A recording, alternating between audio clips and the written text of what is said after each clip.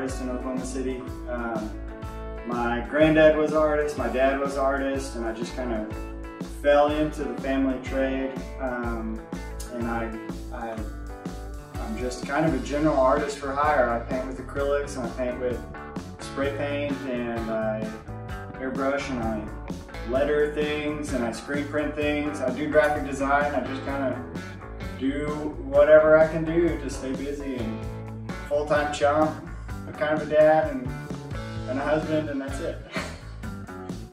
I grew up on the northwest side of Oklahoma City, talked too much, and I drew cartoons with my teachers. and that was like, that, yeah, that's definitely what I was doing. Drawing cartoons, making paper airplanes. My first studio was like uh, in Oklahoma City, just a couple miles from my house, and then I moved to the Plaza District, and I've just always been here.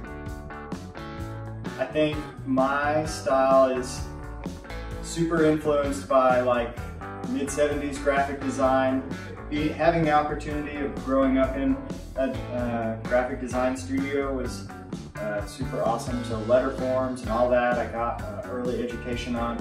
Um, and then kind of deviating into like a rebellious youth with like being a little punk and graffiti and changing those letters, like those traditional typography letter styles and then turning them into like whatever, graffiti and I don't know. I don't know what my style is. It's influenced by screen printing and graphic design and cartoons. Tree and Leaf was basically my doctoral degree in art. Like 12 years and I got to really just be hands-on in art every day around like some of the coolest musicians and artists and designers in Oklahoma City. It's just like awesome, really great experience. I was in college for graphic design and I wasn't really figuring out what I was going to do. Um, and uh, I had a friend contact me about having a screen printing press that he wanted to get working. And so I just started commuting back and forth from Stillwater to Oklahoma City and we self-taught ourselves how to screen print.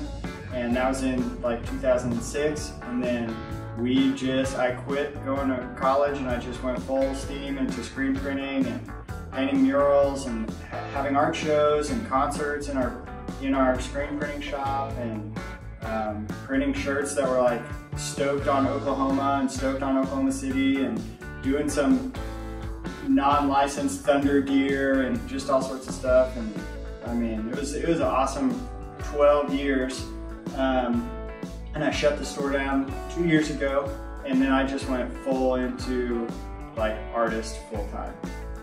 I mean part of being an artist is find like having clients, being an artist for hire as well. And I've been super lucky in Oklahoma City to have awesome clients um, like Blue Garden, like the Parlor, like Mexican Radio and Cafe Cacao, and you know, um, so putting art on walls is just something that we, like me and a bunch of my friends, decided that we were going to do, and we just kind of made our name, made a name for ourselves, in installing art for commercial businesses. So businesses decided that they could really cultivate an environment in their space with a piece of art. And so we get to do that every day, you know, paint windows and signs. And sometimes we get to have like full creative freedom.